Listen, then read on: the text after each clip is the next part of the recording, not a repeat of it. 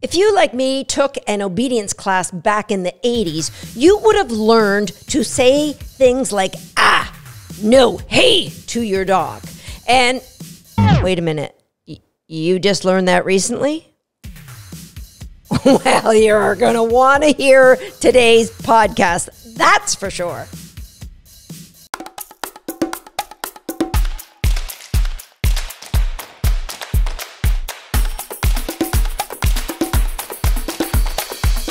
Hi, I'm Susan Garrett. Welcome to Shaped by Dog.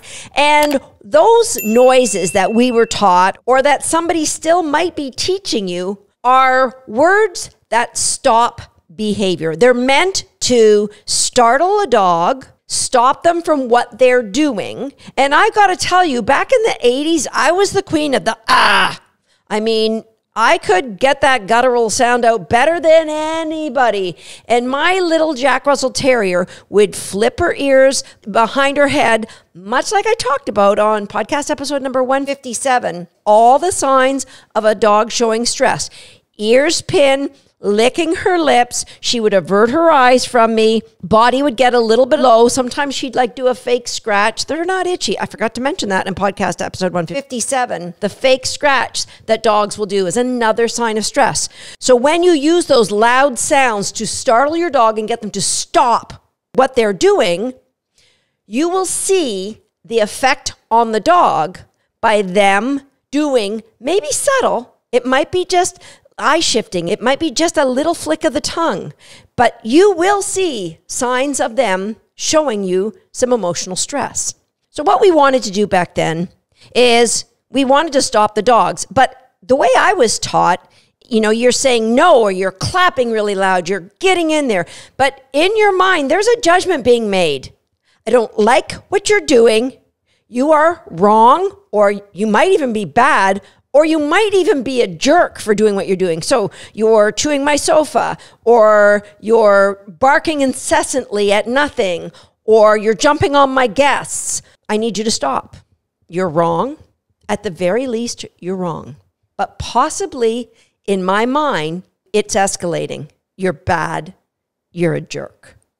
Those are judgments and they're unfair. And the ah, ah, no, hey, what they don't do is tell our dogs what we want them to do. Some people coin the phrase negative interrupter with those sounds, which I think is flawed science because negative means you're taking something away and really you're adding.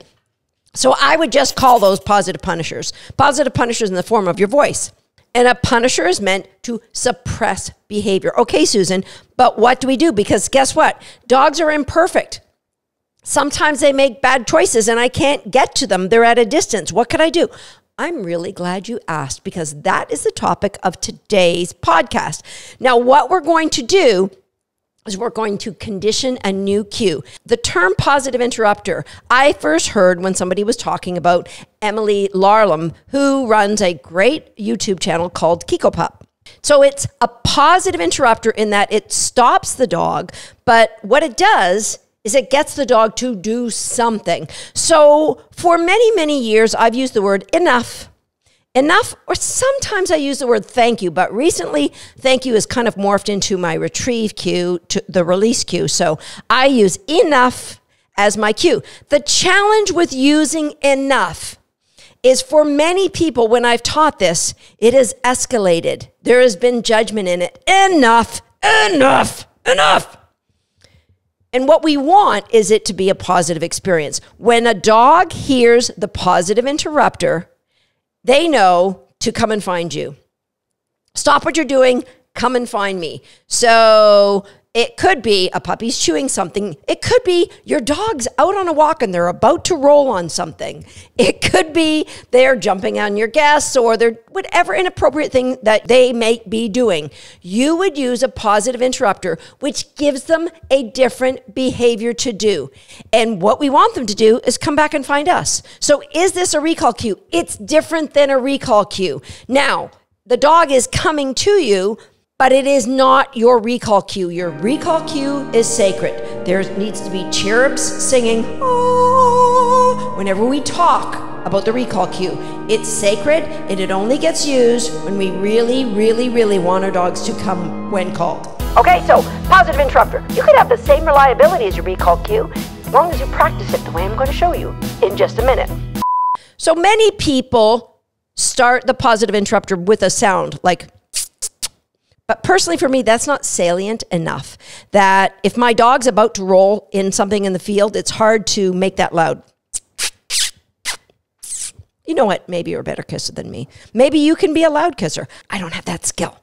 But I love the idea of using a sound as a positive interrupter. Why? Because it's so darn difficult for that to escalate into something that is a judgment. So when I have a litter of puppies, I introduce positive interrupter and it, it's kind of a melodic sound. It's wait, wait, wait, wait, wait, wait, wait, wait, wait.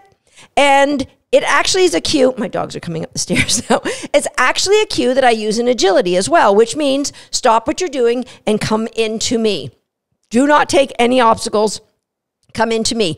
It's a positive interrupter. Enough and wait, wait, wait, wait, wait, wait.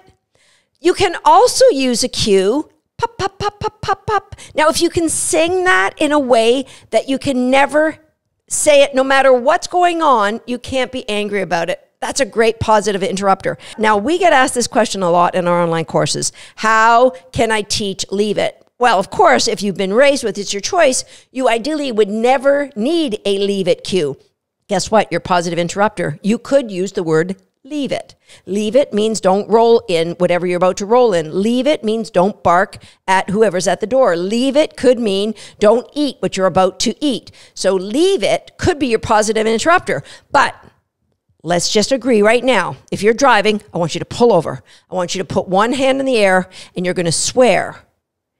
If I use the word leave it, I'm never going to say it in an angry tone. If you can't say that, then go with something that is nonsensical, like or pop, pop, pop, pop, or something that's melodic and different and just the sound like you might want to just experiment with sounds because there are some sounds without any conditioning at all you're going to get your dogs coming over and going like what is that that sounded really fun all right so a positive interrupter first thing you have to do is pick the sound or the word if you do sports, you could borrow one with the cue ready. Now, a lot of people, when they do sports, they say ready, and that will get the dogs. My dogs are running. I can hear them coming now.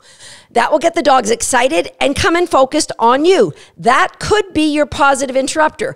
I wouldn't advise you to do it if you're also using it to get your dog jacked up for different sports, okay? Because what if, this is a great place where I use my positive interrupter, if my dog, I see them locking on a distraction in the distance, maybe we're out walking and they see a deer, and I just say, enough, or I'll say, wit, wit, wit, and they'll just come off of it. But if I use a cue that means get jacked up, get engaged, and get ready to chase, then there might be a conflict for the dog. So I've seen people use the cue ready as a way to get their dogs to come off of things, but that's a slippery slope. So pick a word, all right? Wit wit. Let's all go with wit wit. I'll know you listen to this podcast or you're a member of one of my online classes if I hear you saying the word wit wit. All right? Is it a word? It's a hyphenated word. Is it? It's a phrase. Wit wit wit wit wit wit wit wit wit. my dogs are going crazy right now. Okay, so let's teach our positive interrupter. First thing you're going to do, super easy, you're going to get high, high value rewards. Put them in, a, like ideally, if you've got a kangaroo pouch or somewhere where the dog, you know, bait pouch is just so obvious. So if you want to use a bait pouch, sure, but do some sessions without it. You're going to have your dog on a leash, so they're going to be nice and close, and you're going to say the word and immediately drop a cookie in front of the dog. All right, they're going to eat it. You're going to keep moving. So as they're eating it, they're going to be on a leash. So you're not going to jerk them or anything. Wait till they eat it, and then they're going to come with. I don't want them snarfling and sniffing because wit wit wit doesn't mean start sniffing the, the ground. All right, it means turn and find me fast. You're going to repeat this until the dog is ready for you to say the wit wit wit wit cue, and then what you're going to do is you're going to add some motion. So it's going to be give the cue and then turn and run The dog catches up and then you drop the cookie on the floor. Now, here we can hand the dog the cookie as well, but I want you to alternate. Sometimes drop it on the floor, sometimes you're going to hand it to the dog. Eventually, if you're doing this like in your living room or your kitchen, you can throw it into the corner so you can run across in the opposite direction. Why do I want movement? because it adds to the reinforcement value. You can stand still, but our dogs love to chase. They love to chase. So eventually, we want to be able to say the wit wit wit cue without moving at all. But initially, I would say we're going to move 80% of the time. 10% of the time practicing it just standing still. 80% of the time you are at least. Now, if you can't move that great, you can turn and like walk fast or walk at whatever speed is your fast. Just turn away from the dog, keeping contact with them with one eye over your shoulder, but we want them to see you turning and leaving because the wit wit means engage with me. All right? Engage with me. So we say the cue that they come. Now, three weeks. Let's put up her hand again. Susan, I solemnly swear, I will not try to use this cue to interrupt a undesired behavior before three weeks. Now, that's an arbitrary number. It might take you four or five weeks, depending on how often that you can practice this game. We want to move from just saying the word, dropping cookies. That's your first session. Like that's going to be over real quick. And then saying the word, moving away and then handing the dog a cookie or dropping the cookie. And then for those of you whose dogs tug, we're playing another game. Now, if your dog doesn't tug, don't switch off. Don't cross your arms and get all pouty face on me because I got something for you. Just be patient, okay? So, what I want you to do is I want you to start tugging with your dog. You're going to have your high value treat somewhere where you can grab it really quick. In the midst of tugging, you're going to give your cue. Wait, wait, wait, wait, wait, wait, wait. The dog should disengage from the tug toy. If by chance they don't, you are going to just become limp and stop saying anything. Just wait until the dog disengages. If they don't disengage, then you can just do a collar grab because that should help them go, oh, yeah, collar grab means I'm going to get a cookie. And then they're going to spit out the toy. You're going to drop the cookie, go back and do more wait, wait, wait, without a tug. But what I want them, what the next stage of learning is, is the dog is doing an activity, maybe an activity they like. You give the positive interrupter and they learn stop what I'm doing and chase. Stop what I'm doing and find mama. Stop what I'm doing and look right? So the tug game is just an easy one to get them involved. Now, if you have higher value rewards or tugs that your dog loves, don't go to the highest one at first. Go to the lowest one and work your way up so that they're crazy involved with tug and you give your wit, wit, wit, and they, they drop that tug. They're learning no matter what I'm doing. I hear wit, wit, wit, and I turn and I come. My dogs might be giving an accompanying serenade to tonight's podcast because I'm talking dirty. I'm saying all their favorite words. Okay. So, for those of you whose dogs don't tug, here's what I want you to do I want you to take a low value food, AKA something that they will not eat, a rock. Now, uh, if there's a chance your dog is one of those dogs like tater salad, if you throw anything, he's going to eat first and ask questions later. Don't do this with a rock. I want you to throw a block of wood bigger than your dog's head. Okay, so you're going to throw it to get their attention. You're going to say wit, wit, wit, and go in the opposite direction. Eventually, I want you to get to a place where you can roll a piece of kibble on the floor. Your dog goes to get it. You're going to say wit, wit, wit, go in the opposite direction and give them a high value reward. Now, you will need somebody to help you with this because I want the dog not to be able to get to that kibble. If they do, no big deal. I don't want you to have them on a leash and like give them a at the end of the leash. If they do, no big deal. We just know that wit wit wit is just not strong enough, high enough value for them at this moment. You could do this a couple of times and start throwing it further and further away you could actually roll it under a door or an area where it's almost impossible for the dog to get that low value cookie. If they still start like scratching and, oh my gosh, I really have to get this dried up old piece of kibble, then that tells me you haven't done the two to three weeks or longer of the fun, wit wit, turn, run away, fun, wit, like high, high value rewards so that your dog just hears that noise and wow, something amazing is going to happen. That's what we want. All right. Now, your three or to five or whatever week introductory probation period is over. And now you're going to use your wit wit cue just to interrupt low value activities. All right. So something like here's what, when I use mine. Post swimming licking drives me crazy when I'm trying to focus on something. So I will use that cue. My dogs will come over. I'll just I'm just interrupting them. All right, now can you go do something else? Go lie down somewhere else. So then they're not right under my feet licking. All right. Now, you're not going to wait till the UPS guy comes and every, all anarchy is going crazy because it's less likely to work. Use your positive interrupters only when you're willing to bet me $1,000 that your dog is going to give you that head whip and drive towards you. Okay. Now, Susan, I've been listening to your podcast quite a bit. And I know about podcast number 16, The Thing Before the Thing. Am I not just rewarding my dog in a behavior chain? You got to be bad to be good.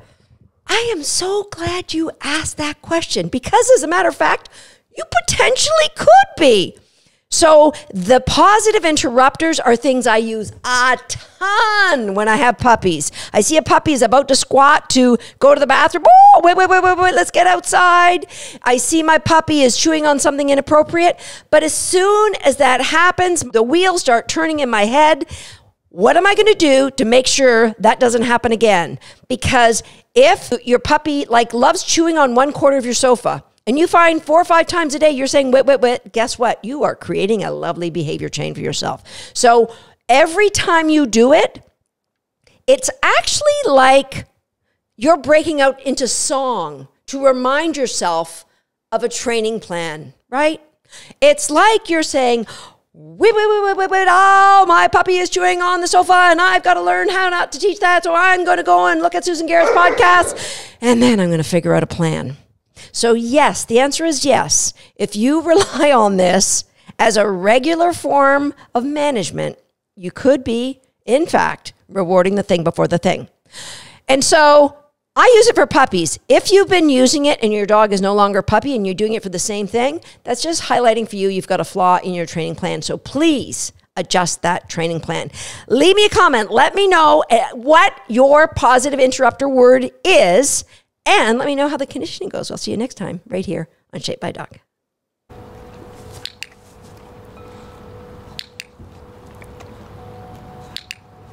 Tater's pretty good at hitting targets. Now it's your turn. If you're not a subscriber to this page, go ahead and hit that subscribe button now. Be sure to turn on the notification bell so you'll never miss another video. And if you are already a subscriber, that's for you. Go ahead and give yourself a really good cookie.